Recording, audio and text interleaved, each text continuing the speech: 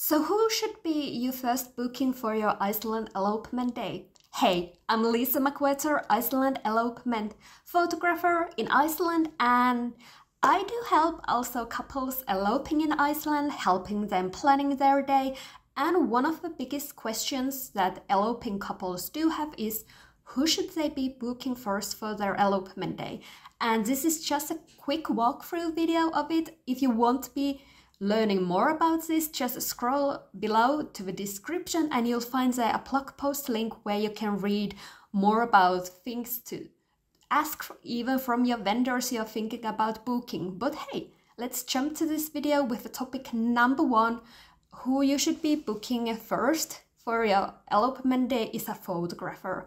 Now, local photographers or photographers that do travel a lot to Iceland to photograph couples, they aren't really that many and they are quite quite well booked. So I would be recommending that if you're planning to elope in Iceland, get in touch with the photographers as fast as you want because many of photographers right now are already sold out for the year 23 and getting fast booked for the year 24. So I wouldn't be wasting any time on sending a inquiry to the photographer.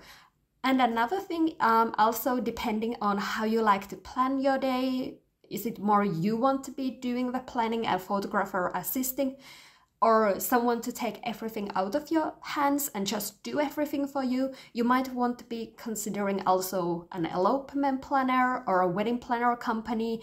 That would be another one to book quite fast, besides the photographer. And the second one, I'm saying it's the second, second one you should be booking is your officiant or priest because they are also just, well, I wouldn't say few, but some of them are booked quite well in advance, so they are already quite limited spots. So after you have secured a photographer you really love to capture your day, I would suggest on booking an officiant or a priest for your day. So you get to choose from the officiant or priest you really want to have for your day, and that way secure to have an amazing person. Because when you get the chance to book the amazing person, that will secure that your ceremony will be a very memorable one. After that, I would suggest um, um, deciding which part of Iceland you would be get married at, also booking your flights accommodation. Those are quite big, big number three part things to book at.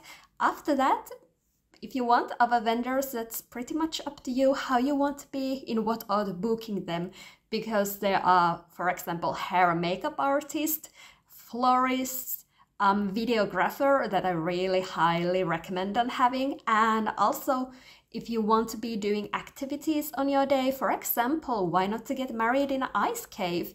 You might want to be then already booking a private tour.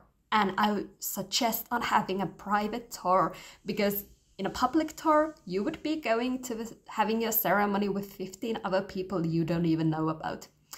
Anyways, read more about the blog post below because there's also added questions you can ask from your officiant florist, hair and makeup artist, videographer, you name it, all in the blog post. It was so great to have you here and let's build an amazing Iceland elopement for you and have an amazing planning time. See you in the next video. Bye!